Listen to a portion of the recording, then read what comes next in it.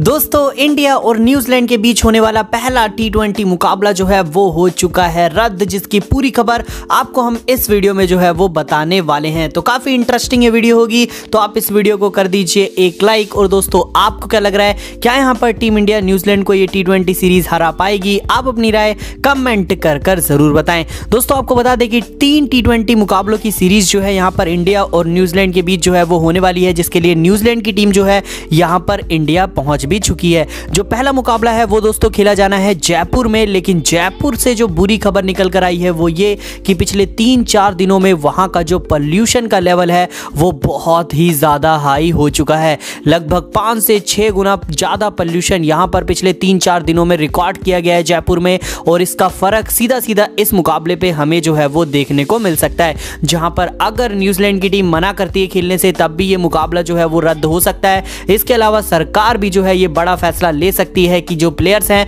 उनको नुकसान ना हो, उनकी हेल्थ पर फ़र्क ना पड़े, इसीलिए इस मैच को जो है, वो किया जा सकता है। रद्द, ये बहुत ही बड़ी खबर। इस समय जयपुर से जो है, वो निकल कर आ रही है, जहाँ पर पॉल्यूशन के कारण पहला टी मुकाबला रद्द हमें होता हुआ नज़र आ सकता है। इस पर आपकी क्या राय है? क्या प्रदूषण के कारण रद्द करना चाहिए मुकाबले को? आप अपनी राय कमेंट कर कर ज़रूर बताएँ और वीडियो को लाइक करना बिल्कुल भी ना भूलें।